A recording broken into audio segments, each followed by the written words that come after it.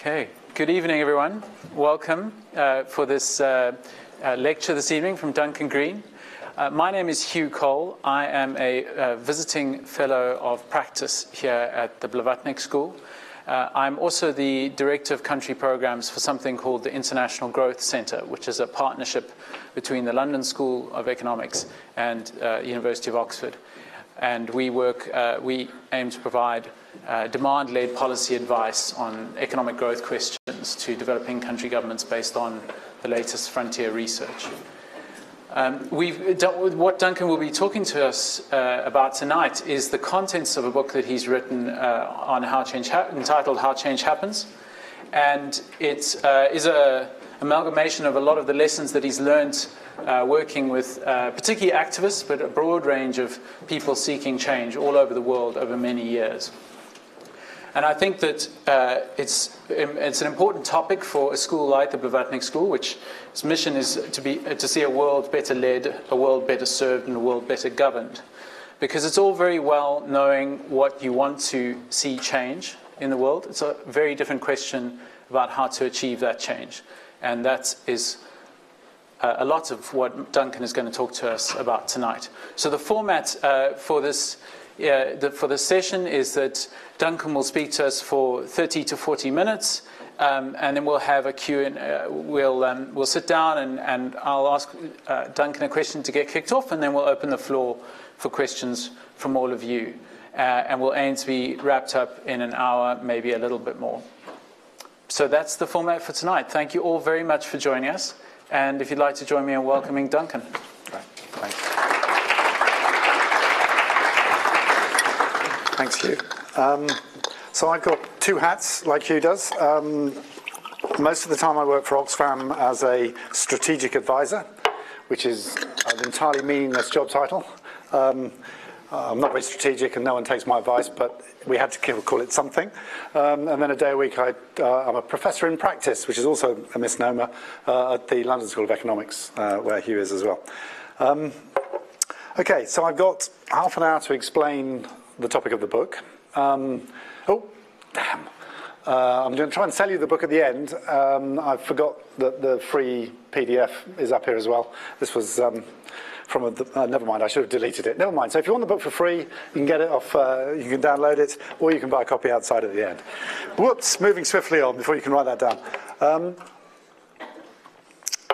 so the book summarizes um, a move in my thinking where I started to think of change as a thing in itself rather than just attached to a bunch of particular stories. And I had to try and work out when that process uh, happened. And I've, I lighted on a, a, trip to India in 2006, which is one of those fantastic field trips, which are like a sort of rolling seminar, um, light bulbs going off in your head, fantastic conversations, and you come back different. Um, and this was a trip to Madhya Pradesh, um, overnight train ride from Delhi. And it was a trip to visit some fishing communities. And these fishing communities had a really interesting story. So I'm going to start here, and the, the, the, their story kind of sums up a lot of the lessons which I then unpacked uh, in the book uh, over the next few years. So they're lower caste, they're at the bottom of the heap. Um, they've been fishing these artificial ponds for centuries. Um, couple of decades ago, someone realized that you could massively increase the productivity of these ponds by putting in baby fish or fish eggs. Suddenly the yields went up, and that was a disaster for these communities because upper caste people smelt the money, came in, drove them off. So first, interesting, ooh, look how quickly a technological shift turns into political and social disruption. When they were driven off, most of them accepted their fate. These are lower caste uh, uh, communities, and in India, being lower caste is a life defining state. They expected to be treated badly, but 12 of them actually resisted and protested and got beaten up. They were beaten up by thugs hired by the upper caste uh, people who were taking the ponds. And at that point, the communities said, You can't treat our boys like that, got up and started a much bigger process of social mobilization. So, lesson there interesting that a moment of conflict and violence triggers social change. Very difficult if you work for Oxfam, set up by Quakers, deeply pacifist, doesn't want to think that violence could be part of a change process, but it is. Um, if they had just protested, they probably wouldn't have got very far, but they found an ally in the form of a Brahmin, upper caste, former civil servant who had retired from the Indian civil service and set up an NGI, a non-governmental individual. Okay. You've probably come across these people. They kind of, you know, they, they have little briefcases, and in their briefcases, invariably a project, right, which they're going to try and sell to you. So the NGI adopted these guys, um, and because he was Brahmin, he could open doors. So he got them in to talk to the police chief, he got them to talk to the uh, state fishing minister, and a process began. Um, the police chief took a case. The uh, fishing minister actually ended up passing a cooperative law saying if you formed a co-op, you had the right to reclaim the ponds. So I went there in 2006. By that time, it was a really inspiring story. They had 150 ponds back under community control. I you know, gathered the stories, scuttled back to the UK, and then did what any sensible um, development person does, which is not go back. Okay, because if you go back to one of these nice iconic stories which you tell everyone about, usually something's gone horribly wrong. Normally, someone's run away with the money, or it turns out it was never that good a story in the first place, you just didn't understand it. So I kept it in a nice little you know, case, but then this year I had to go back, uh, well, last year actually in April, I had to go back because it was so kind of crucial to my thinking. Went back there with the Brahmin, found the same Brahmin, went back to the communities, and it was really interesting what had changed in the last 10 years. No one had run away with the money. The number of ponds had shifted to 250 from 150. Um, there were demonstrations with quarter of a million people. You know, this is a big social movement in that part of India. Um, the, they no longer needed the Brahmin. That was really interesting. They said, you know, we now deal directly with decision makers, politicians. We don't need that, in, that intermediary anymore.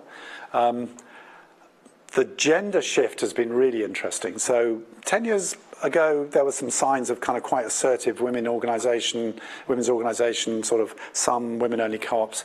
This time was extraordinary. In 10 years, a big shift had, took place, had taken place. And for the first time and only time in my sort of career, my time in development, I actually heard myself saying in the middle of a meeting, excuse me, could the women shut up? I want to hear what the men think, which has never happened to me ever you know, before. But it was just an extraordinary shift. But in spite of that shift, while I was there with the Brahmin, people were scuttling up, sort of crouched and touching his toes out of respect. So a really interesting sort of combination. Some norms had massively changed, some hadn't changed. So it's just a sort of partial shift, but a really big transformation. So I was, you know, really fascinating. That's what makes Oxfam, you know, such a good place to work for. When you get these stories, you spend a lot of time in meetings and, you know, flip charts and all the rest of the nonsense in order to occasionally have experiences like this. I'm now going to systematize that into a really boring presentation, but that was the kind of thing on which all this is based. A little bit about the book.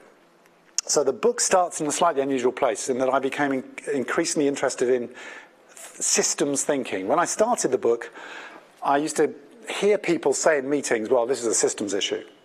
I never knew what they meant, right? And I thought that's probably just, they're probably just trying to, you know, impress.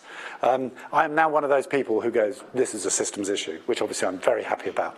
Um, but I started, I think actually there's enough substance in the systems question, I'll talk about that in a minute, that it really does change the way I think about development and the way I think other people should think about development. Then the book goes through the kind of institutions um, uh, which are involved in change processes, the state, um, rule of law, but the international system as well. It's aimed at change actors, activists, um, but the definition of activist is very broad. It's not just people out protesting on the street, although probably we should be right now. Um, it's about people who are trying to bring about change within institutions, people we would call reformers, people who are just active, dynamic in pursuing change processes within any given system. Um, and then the so what's, which is the weakest part of these kind of general books on development, is usually the last bit. Usually you get a great diagnosis, this is what's wrong with the world, um, and then very little about what people should do differently. So I spent a lot of time dragging advice from people, lessons, what do you do differently? I'm going to talk about the first bit and the last bit, and you'll just have to take on trust uh, the bit in the middle. Uh, I hope that's okay. So systems and power. The cake. To make a cake, you need ingredients, you need a recipe, you need an oven. And if you follow the ingredients, uh, follow the recipe and the ingredients are okay and the oven works, you'll be able to make a cake. You can predict that the, the result of your activity will be a cake. If you get a cake at the end, you know it's because you followed the recipe. It's a linear process and a predictable process. Welcome to the project.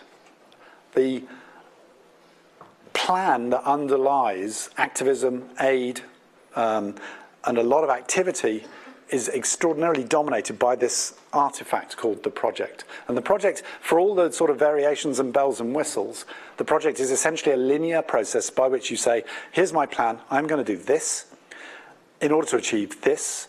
And if I achieve this, which I will find out by monitoring and evaluating results, I will be able to attribute that change to my activities, and then I will go back to the funder or whoever's authorized this and get agreement to do some more. And that's the kind of the, the bread and butter of activism and of aid. And we apply it in situations like this. This is a famous US military PowerPoint from Afghanistan. Um, and it's, a, a, it's an attempt to work out who influences who in Afghanistan, right? Uh, the, the, the, consultants who drew it up um, was immediately sacked when he showed it to General Petraeus in Afghanistan. Uh, it was leaked. Uh, Jon Stewart took the mickey out of it. Various people laughed at it. I looked at it and I thought, wow, that's really good. I wish our Afghan team were doing stakeholder mapping of that quality. It's a really genuine effort to find to understand a complex system. Now, a complex system has particular qualities. There are so many feedbacks and, and, and network effects that if you poke that system with a lot of money or a lot of soldiers, effects will ripple through and you cannot predict what will happen next. It's not that you're not smart enough, you cannot know. However many computers, however many PhDs, you cannot predict what will happen next. And if something changes, and these systems change all the time, you cannot attribute that change with certainty to any particular cause. Now, this is obvious. This is why this is life. Okay, this is you don't know what your life is going to be when you're 15 or 20 or 25. Um, you don't when you're raising a child. You don't say, right, I'm going to design a log frame for that child for the next 18 years, which will set out every you know, activity and, and, and in advance, because those things that's not how things work. We work by learning, changing, fast feedback, response. But in the world of activism and aid, we have the cake, we have the project. And we really struggle to find projectable bits that work. And a lot of the sort of underlying reason why a lot of projects fail is because they're not suited to this kind of complex system. The way change happens in complex systems is different from linear systems. Linear systems tend to change quite smoothly. Um, you, you can do this in year one, this in year two, this in year three. Complex systems are characterized by spikes, sudden discontinuities, sudden, sudden moments when everything is thrown up in the air. I think we're living through a very big one at the moment with Brexit, election of Trump, possibly right-wing uh, populist victories in France, Netherlands, Philippines. There's a lot of stuff going on at the moment. When you stand back and look at those moments later, what you see is that all the social assumptions, the political assumptions, the status quo was thrown up in the air, new possibilities emerge. So if you're interested in bringing about change, you should be thinking about those critical junctures. When, what, which ones can you predict? Uh, and the unpredictable ones, how fast can you detect, think about, and respond to them? What you shouldn't do is say, something's happening, but I've got my plan to implement, I've got my campaign, I've got my project. And that happens far too often for, for my liking. The other thing about those complex systems is that everywhere is different. Everywhere is a product of its own history. Again, it's platitude, it's obvious. But then what is the value of all those best practice guidelines, frameworks, toolkits, which the aid and development sort of set love and produce in vast numbers? Do we just throw those away and approach each, each context, each situation with a blank sheet of paper? Probably not. But what we do need to do is to adapt what we think of as good practice, not best, but good practice, far more to the local context. So the book argues that this is a big problem for the traditional approach to, to, to uh, aid and, and, and, activism and that we need a new approach. Um, part of that approach is understanding power. Now, two of my key guinea pigs when I was writing the book were my sons. And um, that's led to a certain strange quality about the book in that all the cultural references are to the point when my two sons were talking to me. Um, so they're all about sort of early 2000s, or um, um, so we have The Matrix, The Wire, Harry Potter, and then it just stops. Okay, so there's a kind of period piece quality to it already, even though it's only been published, just been published. This is The Matrix, uh, the first film. Who's seen The Matrix? Let me see. Okay, good. I can make this connection. If you've seen The Matrix 2 and 3, I'm very sorry. You know, um, we all make mistakes. Um, the first Matrix film is a great study in adolescent angst. Um, and the, there's a moment when the thinly disguised Messiah figure, Neo, um, sees the matrix behind reality, the ones and zeros that actually constitute the, the sort of the, the, the underlying field of reality, and he becomes invincible. When you read and think about power, at least in my case, there were moments when I started to have Neo-like delusions. That power is in some sense the matrix. If you start trying to make power visible and understand how power is distributed in different situations and how it's being renegotiated and redistributed, that starts to feel something like an underlying force field of development. Um, that's very general. Uh, let me talk a little bit about some of the different ways that different uh, uh, uh people have, have explained power and come up with frameworks to make the power, to make the matrix visible. This is Guatemalan indigenous activists channeling Foucault. Okay, so um, why do we not speak? We had internalized repression.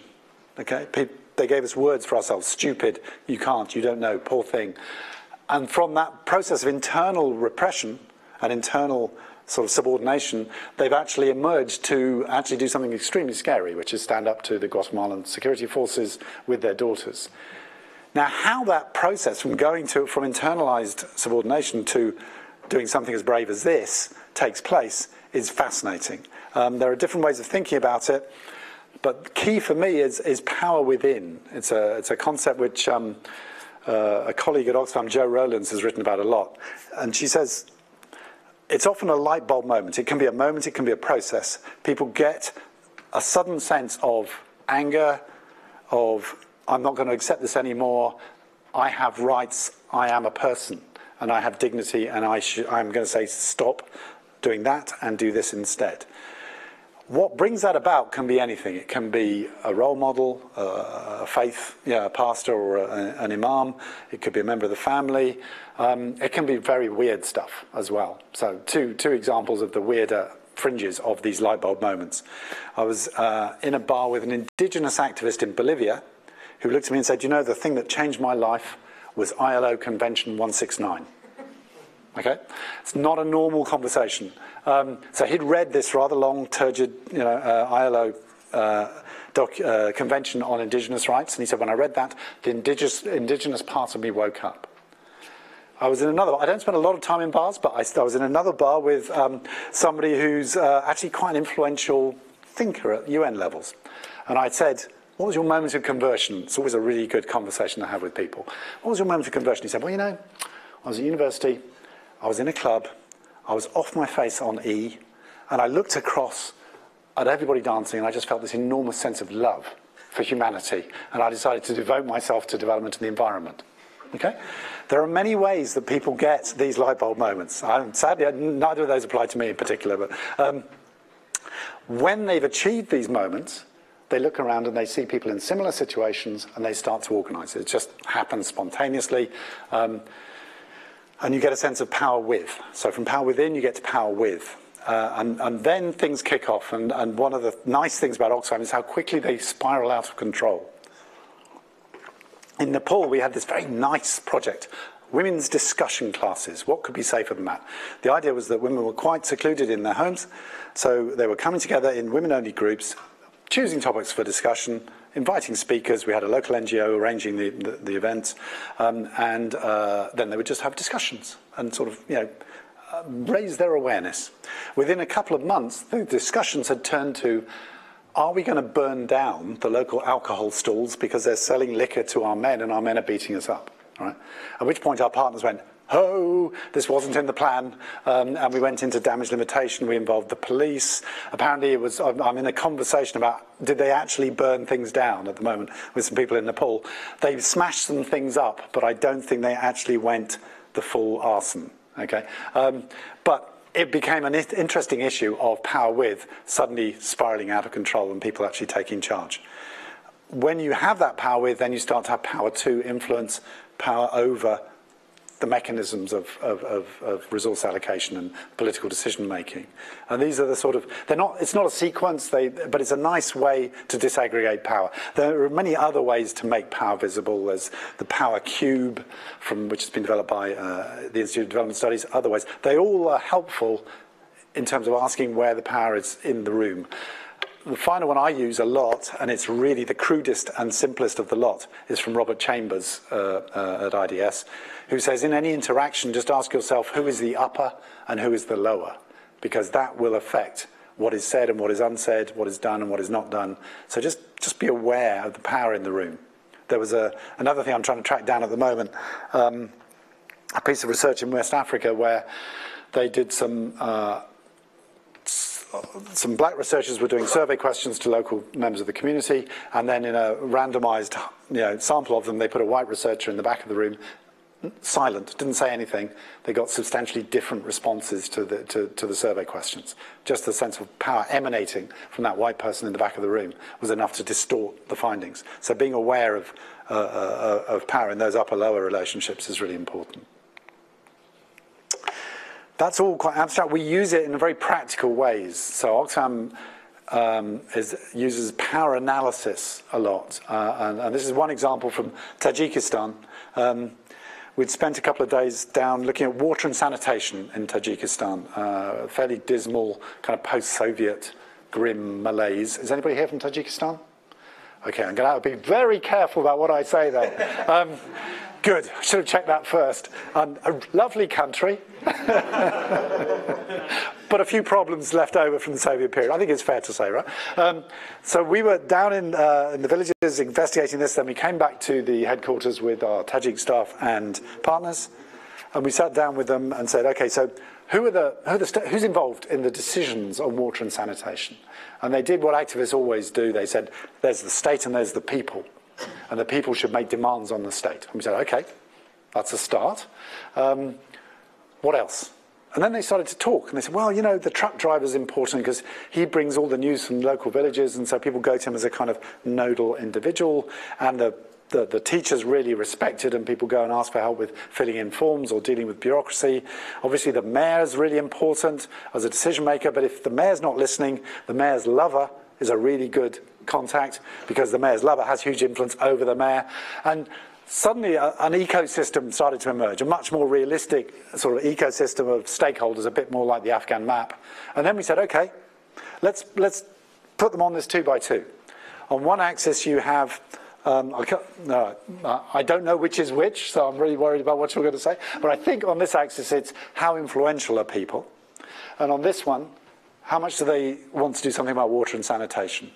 If they want to do something about water and sanitation, but they don't have much influence, then the job of an external, like an NGO or an Oxfam partner, would be to try and help them get more influential. So maybe introduce them to the equivalent of the Brahmin, maybe help them to organize, maybe help, help them with money, whatever's required to get them up there.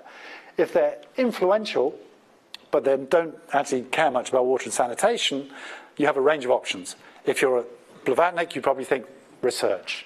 Okay, just one more paper should be enough, um, preferably written by me. Yeah, uh, that does work occasionally. There are many other ways to influence uh, people who are influential. Um, taking them to see something, really important. If they think, if they're just not aware of the problem, show them it, take them there. The messenger rather than the message. Who are they either impressed by or, or scared of, get them to talk to them rather than you know, the NGO or the, the, the activist. Um, particular moments when people are looking for answers, often around crisis, is when you can actually get to these people and say, this is a problem. So there's a sort of the dynamics. And basically, you're just trying to get people up to the top right-hand side, and then you start to get action. We've used this very similar technique working on global campaigns on climate change all the way down to a village in Tajikistan. And it's kind of useful. You're about to tell me how many minutes? Okay. Sorry? Okay. So I showed the draft to my guinea pigs, my sons, and, and the one who's uh, the activist said, this is great. Yeah, he's a very nice son. Um, but unless you boil it down into two slides, it will be of no use because I'll never remember it when I'm in a meeting or a, a, a negotiation or whatever. And I said, but the whole point of the book is I'm against blueprints and toolkits and every situation is different. He said, well, fine But unless you do that, you know, it'll be a waste of time. So I took a deep breath and thought, how far can I go? Because I wanted to produce another toolkit, but I think there is something you can boil down. So I came up with this thing I call the and systems approach. Um, and it talks about the kinds of mentality you need to work in these complex systems and the kind of questions to ask. But it doesn't say what the answers should be because those are going to be different in each context and each time. So it's about as far as I can go towards the two slide issue. So if you're in that Afghan situation, you have to have a kind of deep curiosity. You have to be really interested in how it's changing without you. What's going on in the system? There's a woman called Donella Meadows who wrote a wonderful book called Thinking in Systems who says we have to learn to dance with the system. Um, I was in Myanmar in September and we were having a typical NGO conversation about the state, the military, uh, Aung San Suu Kyi's party and civil society and the media. And it was kind of, you know, talk about the relation between those players is quite interesting. And then someone just mentioned funerals on the margins of the conversation. And we had an academic with us who, an academic's incentive systems are more to find out new stuff. So she said, well, what's that about, the funerals? And we found out there's this massive social movement going on in Myanmar uh, about the cost of funerals, demanding free funerals. And actually, you know, over the centuries, burial and free burial has been a big motivator of, um, uh, of social movements. So now she's writing a paper about it, so she's happy. And we know uh, um, we now have, have, seen a new element in the system which we wouldn't have spotted if it wasn't for her. So we don't have that curiosity which she had. Humility. Now, this is an overused word, okay, but I don't mean that kind of false humility, which is very common, you know, humbled by my third Oscar, that sort of humility. I mean evidence based humility. If you're in that Afghan situation, you really don't know what's going to happen. You can't predict.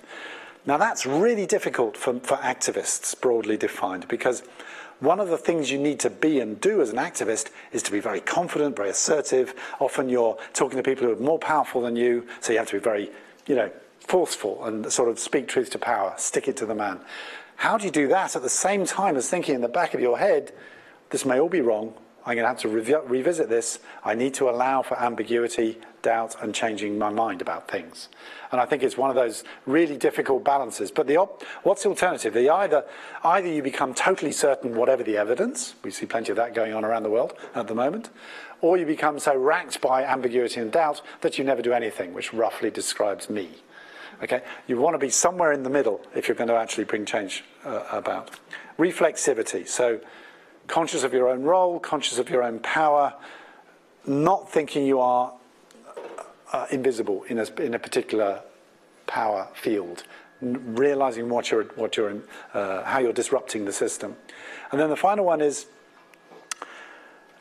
systems are richer and more resilient and stronger and more innovative, more sort of evolutionary if they are diverse.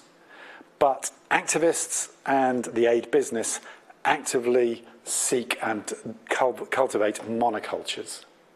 We like people who are like us. We like people who talk our weird language and, and share our fairly obscure assumptions about the way the world is. Um, one example, I think NGOs find it incredibly hard to work with faith communities because faith communities do not do evidence-based policy. They do faith-based policy. That's like what they do. Um, and yet those faith organizations are the ones that are most trusted by poor people around the world. All the research is really pretty solid on this. So how do we work with them? Well, basically, we're not very well. We're much happier working with civil society organizations who can fill in our forms, have all the, the right you know, processes in place, and that's a massively reduced set of potential players in the system. I think we have to get out of that and have to think much more widely about how you put together diverse coalitions around different change processes. The questions we ask, what kind of change? We spend a lot of time on policies, practices, spending decisions. But if you stand back, I think social norms, that idea of what is natural and normal and desirable in the behaviours of human beings is one of the things that's changed incredibly fast. It's provoking backlashes on issues like sexuality and migration, but it's also um, frontlashes as well. So good progress. Um, We've done very little thinking about how norms shift, on how to get better at shifting norms. Um, and I think it's a really big missing piece in, in, in our understanding of how change happens. Precedents, two kinds of precedent. One is history, um, I was lobbying somebody from Blavatnik on the way in.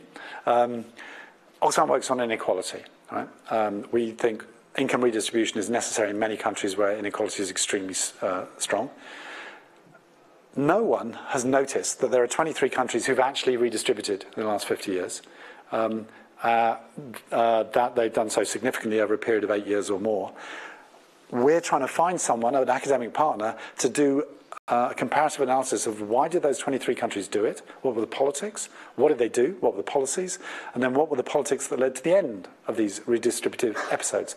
People aren't interested in history in that, in terms of finding useful lessons. Um, and the, the, other precedent is around us. So there's a fantastic uh, book uh, called The Power of Positive Deviance, which says on any issue, there's never a spike, there's always a distribution if you're looking at child malnutrition, if you're looking at disease, if you're looking at um, you know, any issue, there will be some positive outliers. So the positive deviance approach says, well, let's just start by identifying the positive outliers and seeing why they're there. What is it about these kids in the Vietnamese village that mean they're less malnourished than everybody else?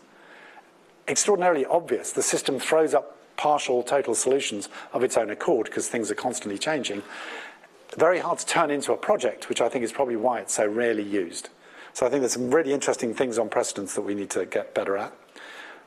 The power I've talked about too much already. And then how will we know if change is happening? So imagine that I had come to Blavatnik from Oxfam's um, office up in uh, Cowley based on a log frame, based on a plan.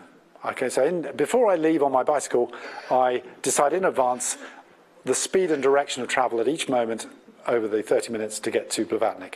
Clearly, I mean, Cowley Road is a scary place anyway on a bicycle, and I would die, okay, because the only way you can get anywhere on a bicycle is by fast feedback and course correction. And that's actually what activism has to be like as well. It's got to notice and adjust, not all the time, but you need regular timeouts to assess when you need to change the way you're, you're, you're working. And there's not enough of that. And the book's saying we need to do a lot more than that. I'm going to skip through these things, which are a bit nerdy, and end up with. There's a really good book, really good two thirds of a book by Angus Deaton called The Great Escape. Okay, the first two thirds, fantastic. It's on inequality, it's on how everything's getting better, and then the third is this weird bitch about aid, which I don't agree with, but um, we'll let that pass. The point Angus is making is that if you stand back and, uh, for a moment, the world looks very different from the way it looks in the headlines, even now. So, you know, the headlines we're seeing now are pretty grim Syria, populism. The headlines, as pushed out by Oxfam fundraising, tend not to be very uplifting either. So, hunger, violence. Um, but look, compare the world now to 1945, and what you see is astonishing progress on health, on education, on rights, on violence, actually uh, number of battlefield deaths massively down. So I just think it's very important to finish this talk by saying there is an enormous age of development, which is still, for my money, underway. The, the book is saying that there is a little part of that which is intentional change by activists, broadly defined, and that if they think more about power and systems, they can contribute more than they're currently contributing. And I think I'll finish there. Thanks very much.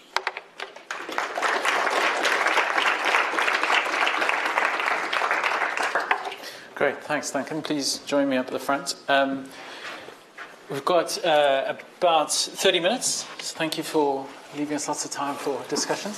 Uh, we've got 30 minutes to take questions from the floor and uh, discuss what Duncan shared with us this evening. There are some roving mics that will pass around the room for questions. But I just I wanted to kick off. I mean, after talking about light bulb moments, you can't get away from telling us your light bulb moment. And so I know we've, we've uh, worked together, um, and I know that you um, you're a physicist by training.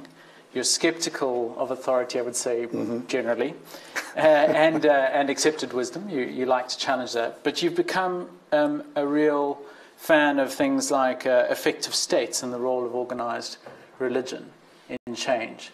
So I think I, am very interested to hear how you, what your light bulb moment okay. was, and and how's that evolution of your interest in things like states and religion and other a broader set of change agents. How's that come to bear? Blimey. So you want the CV, but Yeah. quick. Okay. Um, well, I'll take those three. So the first light bulb moment, uh, I graduated uh, from here over the road at Worcester College, Oxford, um, at a time when the only job in physics uh, was Star Wars, uh, the, the sort of defense. It wasn't a very attractive job. Um, so I instead wandered around Latin America for a couple of years, thinking, what have I done? What a terrible degree. I really should have done something else, but never mind, it's too late now. Um, I lived in Argentina under the military, and I wasn't very political before I went there, but I got pretty political very quickly living under the military in Argentina with my friends who'd had disappeared relatives. My girlfriend's aunt had been disappeared. And that was sort of bubbling away, and then I met someone. So I met this uh, fantastic lapsed Jesuit called Tito Castro. Um, fantastic name. Uh, and he was one of those sort of um, charismatic Latin American activists who was in a village on the shores of Lake Titicaca. So it was beautiful. And he took me in and he just brainwashed me in about two weeks. It was very impressive. Um, his, he had decided, uh, leaving the Jesuit order, he had decided instead that he would um, run a library for indigenous leaders. And so it was basically all Marx, Ma- uh, Mariat- Mariátegui, who's the sort of Peruvian equivalent of Marx, um, and he would just do reading classes with indigenous leaders. So I got to stay in his house, talk to all these indigenous leaders, and I came out. I, you know, I, everything was different. So that, that was that one. Uh, and I assumed he was dead because most of the activists in that part of Peru were killed by Shining Path. And then I uh, mentioned the story to someone, a Peruvian friend, decades later, and they went, no, no, he's fine. He's teaching at the UCA. So I went and had lunch with him, and he's now not quite as charismatic. He's put on rather a lot of weight, um, and he's a sociology professor, but he's still very funny and very happy. So that's good. So he survived. Um, but I worked on Latin America, and that was my experience. I lived there for two years. I then worked as a journalist and uh, as an activist on Latin America, and that meant I was very focused on social movements, civil society, guerrilla organizations, rebellion, resistance, and the state was this dark, bad thing. and then I started reading about East Asia, and I met a, uh, someone who became a good friend called Ha-Joon Chang, a Korean economist. Um, and I just suddenly thought, wow, you know, East Asia did a whole lot better than Latin America did. Um, and I started reading about the role of the state and industrial policy and you know, the role of the state in the East Asian transformation. So that got me thinking very much about effective states. And then religion, um, if you work on Latin America, you have to be impressed by religious activists. And I then worked, uh, ended up working at CAFOD. I was a sort of token atheist at the Catholic Agency uh, in the UK. Um, and it was just amazing. You know, you would be having meetings and they'd say, "Oh, I'm sorry, Sister Pat's being arrested again." You know, um, she's tied herself, she's chained herself to the railings of the Ministry of Defence, and you know, scary nuns, people sticking with social change for decades. Totally impressive. So, although I'm still a devout atheist, uh, I'm completely convinced of the importance of faith in terms of motivating people's activism. Great, thank you very much. I've, I'd, I'd like to explore the topic of activism in government, given where we are and many of the people in the audience. But uh, let's come back to that. I want to open it up to the floor. So let's take a batch of uh, three questions to start with. Is that all right with you, Duncan? Yeah, sure. Okay, there's a gentleman at the back there and a lady here. And then uh, anyone, there's a, uh, another lady uh, at the back there. So three questions. Would you like to start, sir? Mm, Thank you very much. My name is uh, Ivanovic. I'm one of the students at, at the school, but also working with Open Society Foundation. So what you present here is really music to, to, to my ears. Um, but you, I think, just put a big question mark on our whole policy evaluation course. Because policy evaluation that we learn here is is firmly grounded in the theory of change concept or log frame thinking, which you just, I think, blasted gently. Uh, and, and, I, and I think you, you're right uh, that the world is increasingly complex, that log frames don't necessarily, um, not necessarily um, uh, help. At the same time, uh, it reminds me of, of what uh, great military general Clausewitz said, uh, that planning is utterly unavoidable and utterly useless. Um, uh, so, coming from, from that point of view, and also reading some similar work about uh, how change happens from the point of view of uh, adaptive leadership, where ambiguity is celebrated, uh, uh, contrary to, to clarity. Um, and uh, coming also from the foundation where the philosophy of George Soros is exactly about fallibility and reflexivity. I wanted to hear from you whether you have an example of a government that is able to uh, embrace ambiguity or tolerate ambiguity and also act in a reflexive way except for a pilot initiative, that it's actually a government that is reflective in Yeah. real policy Great. terms. Thank you very much. Um, the lady in the white jumper down uh, on, oh, oh, sorry, is in the grey jumper, sorry. Uh, was the next question? Hi, uh, my name is Heejo Kang, and I'm an under, uh, undergrad student here, uh, visiting from Columbia University. Um, but you mentioned Ha-Joon Chang, and I was wondering, because I'm Korean, so I have a vested interest in Korean matters. If you had, uh, if you co- could comment more on the role of the state in economic advancement, especially in light of the, you know, recent political turmoil in Korea with the impeachment of the president, etc. cetera. you had some uh, comments, thank you. Excellent, thank you. And last from this batch, uh, the lady at the back. And then I'll come to the side of the room for the next batch.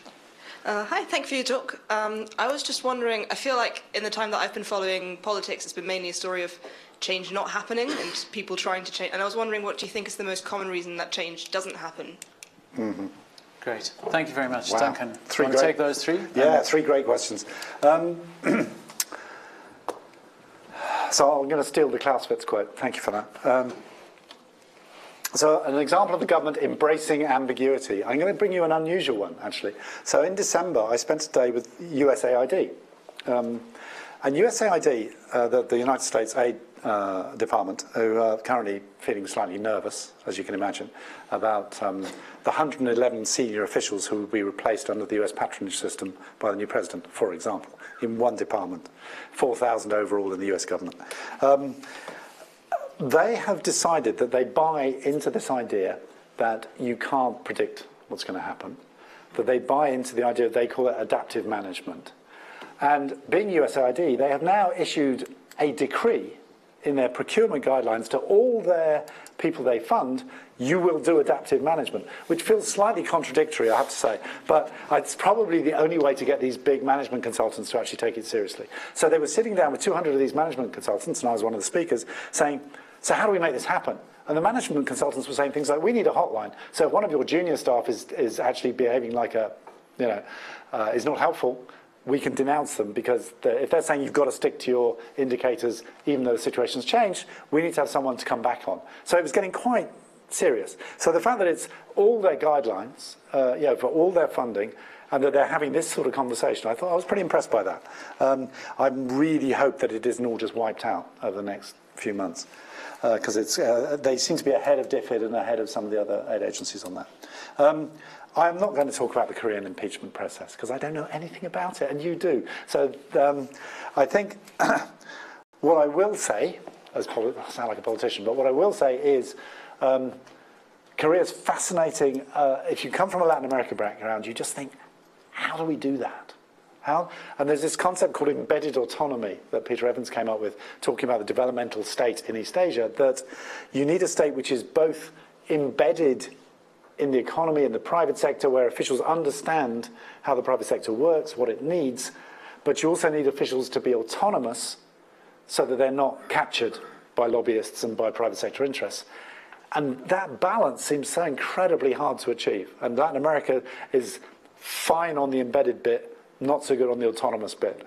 And that leads to capture and all sorts of other things. So I, it is still, I mean, Ha-Joon sees the world through Korean eyes, not surprisingly, and basically just says to the rest of the world, why can't you just be like Korea? Um, it's very, very difficult. And I think it's, it's a really interesting uh, question on that one.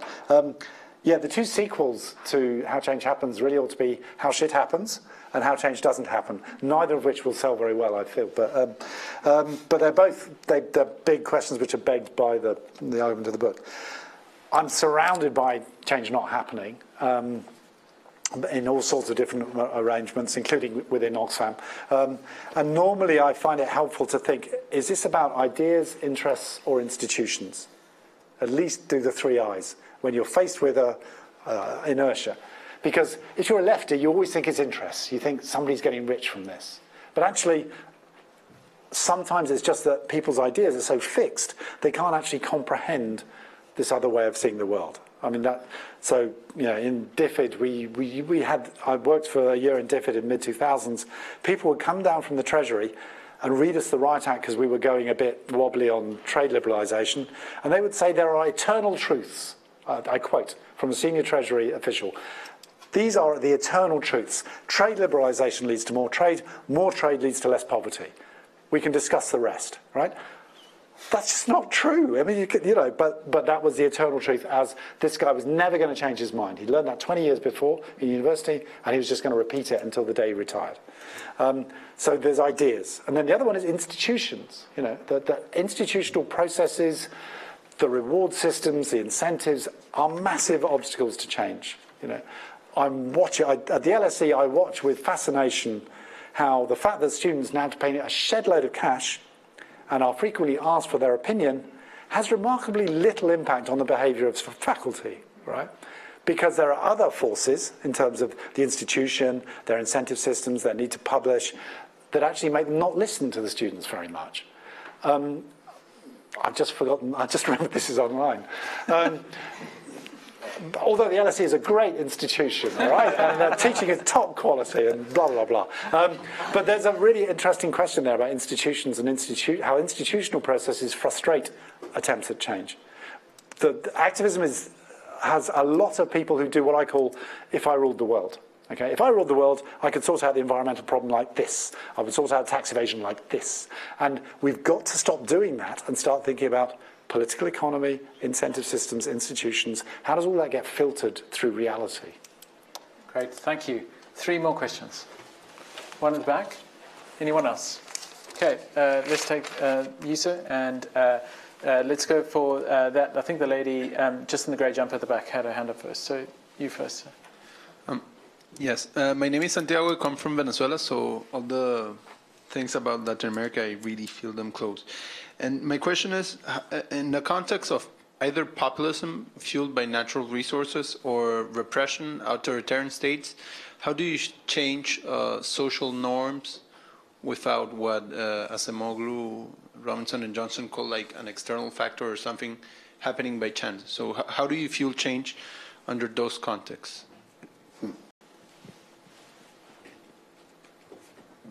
Hi, Duncan. Thanks for your chat. Uh, Gary Morris, I'm a DPhil student. Um, you went as far in your um, presentation to talk about um, how do you know if change is happening. I wonder if you could go a little bit further and talk about how you make change stick. How you make change? Stick. Stick. Mm. Okay, great, thank you. Thanks. And uh, last one from this back. Hi, uh, my name is Silvana Amaja, and I am an alumna here from the Blavatnik School of Government. Um, given your previous knowledge on Latin America, and maybe it's a little bit uh, similar to the uh, question previous, um, how would you suggest to the Latin American leaders that we can provoke change to face Trump and to face all the things that is happening and maybe stop depending so much on the United States? Great. Are you from you. Mexico by any chance? No, Colombia. Colombia. Okay, fine. Okay. So, um, Duncan, there were quite a few. There were a few other hands. Um, Do you want to take got, a few more? No, no. Well, uh, you just told me to be quick. yeah, right? be, be okay, quick. fine. right. okay. So polite, isn't he? Um, okay. Natural resource populism. I'm, I can not imagine which country you're talking about, Santiago. Um, uh, a couple of things. One is natural resource populism is incredibly chaotic because of the dependence on oil prices. So you're constantly getting critical junctures and shocks. So it's about being responding and changing through the shock-driven change is big. Um, it's interesting to compare Venezuela and Bolivia, okay? Because Venezuela and Bolivia, you've got two natural resource-driven populist governments, and I would argue that one has been much more inclusive and effective than the other and I, whether that's because of the nature of the Venezuelan military, the nature of the Bolivian left, it's you know, going back into the Bolivian Revolution of 52. There's lots of reasons, but at least you know, natural resources are not, are not always a curse. The fastest growing economy in the world over the last 50 years has been Botswana, which has diamonds and desert, uh, and has managed both very well. You know, so that's, you know, there, there, is, there, there is still hope, okay? Um, how do you make change stick? Great question, completely floored me. Um, I guess, yes, because if you think about things like the Egyptian Revolution, or the Paris Accord, or the I'm more optimistic on Paris Accord, but the Egyptian Revolution, you know, big upsurge, big upheaval, and then gets pegged back and reversed, and everything's horrible. Um, so then it's about how quickly can you turn movements into institutions? I think, and that, and I think that the, I don't know much about Egypt, but my very superficial reading is that there was a failure of imagination about turning in creating the institutions that would defend the revolution in Egypt and a rather short-sighted, well, the military's better than the other lot kind of sort of thing. So it's about political maturity and seizing moments, but accepting power rather than always being in opposition. So in Latin America, the Latin American left is better now, but it did have a problem with being in power. You know, that idea that as soon as someone's in a position of power, they'll betray you, all this kind of stuff is self-defeating. So it's, it's actually using power to create institutions which will become the bulwark against um, backsliding. Um, well, my advice be to Latin American leaders in the face of Trump, um, move, uh, uh, but assuming that's not possible, um, wait. Okay, because I honestly, looking at the first week, a poll. How many people here think that Trump is going to finish a full term in office? How many people think he will finish a full term? How many people think he won't finish a full term in office? Well, no, no, no, wishful thinking aside, you're, you're with your cold-blooded Blavatnik heads. Um, okay, that was about 50-50. That's kind of where I am at the moment. And I think there's every chance that this is going to get bogged down. Either he won't have the stomach for it or the US system won't have the stomach for it. There's a danger. Yeah, I was talking to um, a rich person the other day. I don't often talk to rich people, but I was talking to a rich person who was saying lots of his billionaire friends are already mobilizing money to impeach. Right? And I think that, what does that do for US institutions? But, you know, there's going to be an enormous backlash at all levels, judiciary, media, uh, money. I'd say there's a fairly good chance he won't finish, in which case think about Pence, think about what comes next. Great, thank you. I, I, saw two hands. There's a lady over there and a gentleman here, over here in the check shirt, and just one more over there, that gentleman over there. So those are the next three. Um, four, we'll take this one, and then uh, we'll begin to, to wrap up after that. Do, do, you think a, a system based on um, Murray Bookchin's ideas of direct de democracy, mm -hmm. where decisions are made, a bottom-up system, where decisions are made by people at the bottom, and, and how such, uh, which at the moment is being used or applied in northern Syria, do you think change in uh, easier to happen in such systems and would it succeed ultimately? Great, thank you very much. Gentleman, uh, check shirt. Uh, thank you for the talk. Uh, my question is more from a scientific background, considering that you're uh, from a physics background. I understand, like, you know, Thomas Kuhn wrote a book around the structure of scientific revolutions, mm -hmm. where he talked a lot about paradigm shifts and also uh, how change actually happens in science. So I was wondering to what extent is there an overlap between that uh, and the theory of change that you're proposing? And what are, what are the key differences or you're building on that? Great, thank you. And gentleman over there. Hi, I'm, I'm interested in your idea of uh, dancing, dancing with the system, but I have a few concerns. Firstly, we are often constrained by our own organization or our home institution. Secondly, we might not be familiar or we might not really know the rules of the local community that we want to operate in. And thirdly, the very reason why we go into a community is precisely because we want to change some of the rules in that community. Mm-hmm. So I'm not really sure that from your experience, how do you balance that and how dancing with the system actually look like in practice with all these concerns? Thank you. Great, thank you. And uh, this lady over here for the last question from this batch. Hello. Um, before coming to here, I and one of my classmates, we were talking that how frustrating it is to be part of a system and not be in the top level, in the middle level, or to be a junior staff, or or not actually the top staff, where you can you actually have the power to change. So in sometimes I feel that when we are in this position, we become part of the system. The government that we criticize, we actually start supporting it once we enter. Um, especially because we, it, it, it's a process that maybe sometimes happens unconsciously, and also because we feel that so hopeless or helpless to, to bring change mm -hmm. because we are not in the top level. So, what do you think? When can we bring change? And for what shall we make the, our target? Shall we uh, make our target to go in the top level and bring change, or just to start from wherever we are? Okay, great. These are amazing questions. I feel like I'm, I feel like I'm in a Viva at the moment. I, and, and, and, and there are still more hands to come. At some point, we'll have to close it off. But um, okay. yeah. Well, I'll, I'll, stay for as long as you want to. But, um, okay. Direct democracy.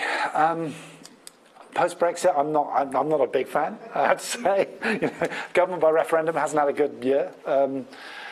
I think I'm torn on this one, right? And the good thing about having a book which says how good it is to be ambiguous and uncertain and humble is I don't have to have answers, and that's fine. I mean, on the one hand, I, you know, you want to see people engaged in decisions which affect their lives. On the other hand, that le leads to populism and demagoguery and all sorts of other situations where it actually can go horribly wrong. So, you know, Rwanda the genocide was an exercise in active citizenship. It was just a very nasty one.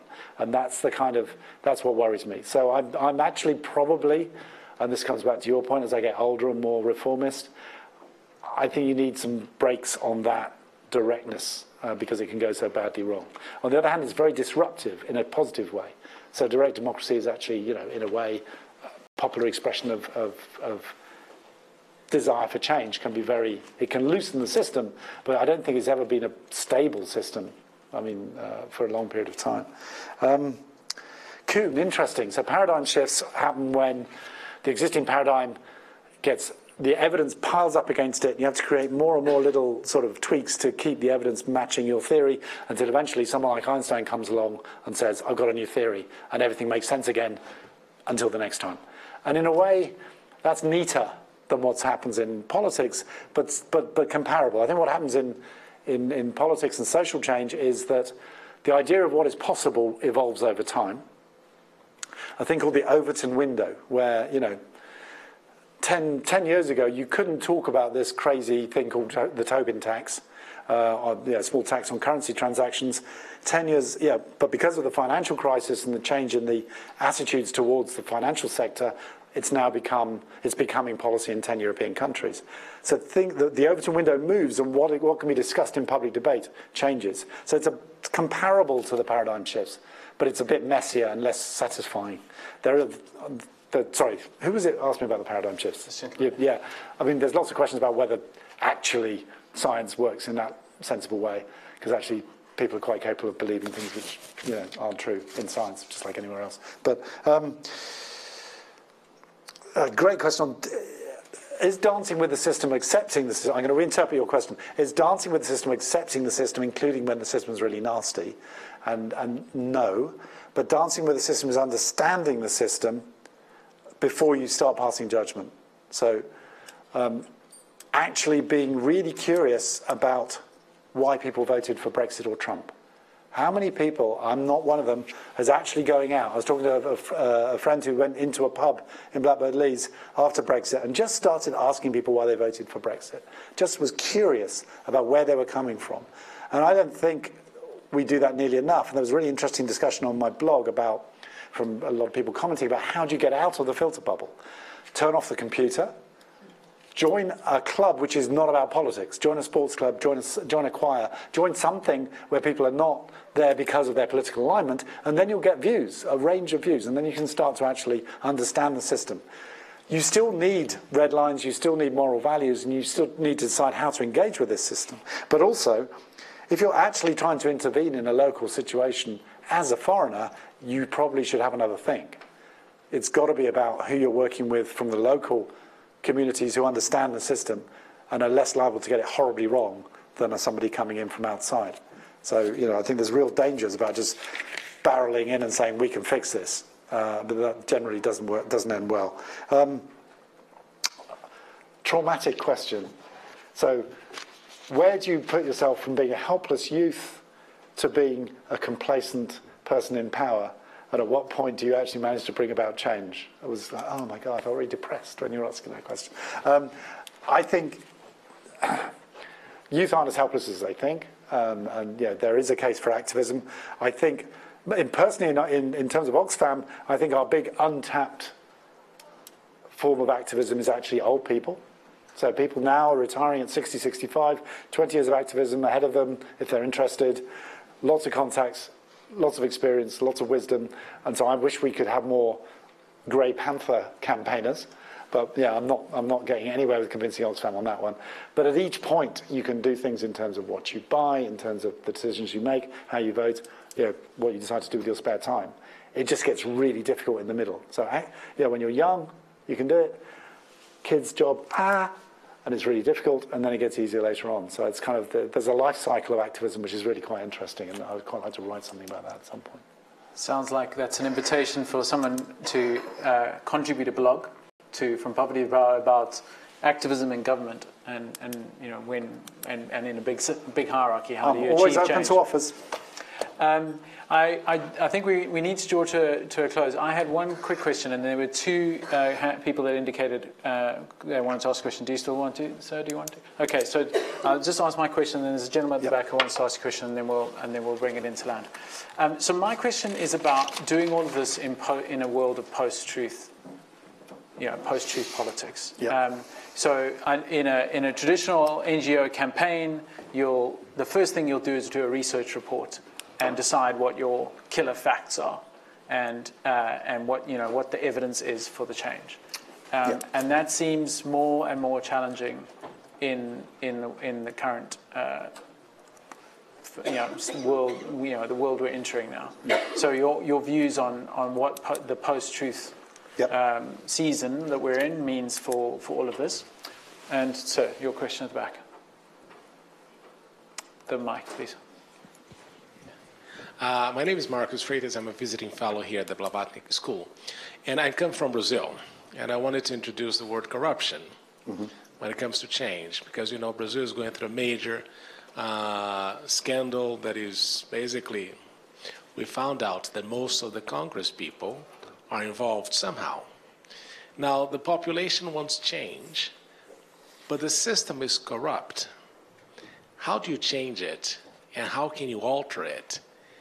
With the same players, particularly considering also that the international community wants to see stability. How do you do that? So, Duncan, maybe as you think about your answer to that, I'll, I'll just read a quote from your book. Uh, it was towards the end of the, the, the section on nations or governments. States are complex systems. The solidity of presidential palaces and halls of the people are, in fact, ephemeral, built upon the shifting sands of legitimacy and events. Thanks for the tip. Nudge. Um, so I don't think we're post-truth, actually. I think we're post-data, post-numbers. Um, I just think we've had a very narrow view of what constitutes truth for people. Uh, I think, I mean, the argument I'm making on the blog and elsewhere is that we need to get much, much better narratives at stories which mean something to people. We've got sucked into this evidence-based uh, sort of geeky world where you know you do your RCT or you do your regression and ha, I've proved it. Next, next question. And that's not how people make the decisions, and that's not how people feel or see the world. And I, I honestly think that misses out a lot of things which are, which are actually very real. So I had a really interesting discussion with somebody within Oxfam who was talking about our, our paper for the Davos meeting earlier, uh, earlier this month, saying, yeah, we got this great new idea, human economy. And I, I just thought, God, that's really boring. You know? I mean, that uh, economy with an adjective. Okay, yeah, yeah, sustainable, care, economy, you know, neoliberal economy, human economy. Okay, okay, okay. And, and I've just been listening to Sadiq Khan, the mayor of London, quoting from Martin Luther King, it's a time to build bridges, not walls. Right? And that seemed to speak so much more directly to uh, the current stage, you know, where it can mean lots of different things. It doesn't matter. It's, it's got an emotional content which a clever, geeky idea doesn't have. And we've got to get much better at building those things. Um, Alex Evans has got a book out called The Myth Gap, which is saying we've just got really bad at building progressive myths. And that's what we need to do to re- recover some of that lost ground. While we've been doing our regressions, other people have been constructing rather regressive myths and doing very well with them. So I think winning back the, the, the narrative fight, I think, is important. Um, Brazil, can you change things with the same players without causing instability? Um, very difficult, isn't it? I mean, uh, and in Brazil, it appears like everybody there is there's no little clean bit, in, certainly in Congress. Um, some of the things people write about this, you know, obviously, I'm sure you, you probably know much more about it than I do, but the, yeah, there are often pockets of effectiveness, islands of effectiveness, sometimes in the, in the tax office or wherever. It's about identifying and supporting those and trying to help them sort of spread out. The pockets of effectiveness might be at subnational level. So you're building a cleaner state based on the bits that do work. Um, in some cases, you need, you need upheaval. I think. So, you know, the, the last big upheaval in, in Brazilian politics was the PT. Maybe we need a new one. Yeah, maybe there's going to be something else coming up now. Um, I'm not sure you can do that with total stability. Great. Well, um, thank you everyone for actively participating so Yeah, wonderfully. great questions. Great questions. Thank you very much. Thank you to Duncan for coming to BSG and for giving an excellent talk and your insightful answers. Thank you very much. And I, uh, I think there are books on sale outside, and I think Duncan's willing to sign, uh, etc. Absolutely.